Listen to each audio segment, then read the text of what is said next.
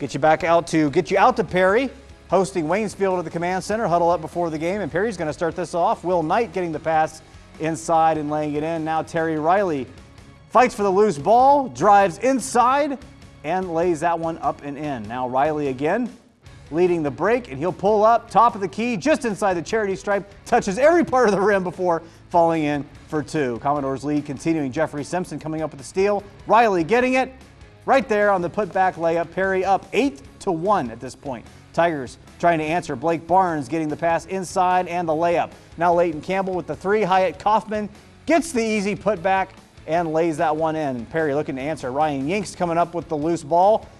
He'll break all the way and gets that one to drop. Now Kaufman getting the pass inside and floats this shot in for two. And then Riley finding Braden Knight, and he'll drain this one in. Commodores up 13 to 9.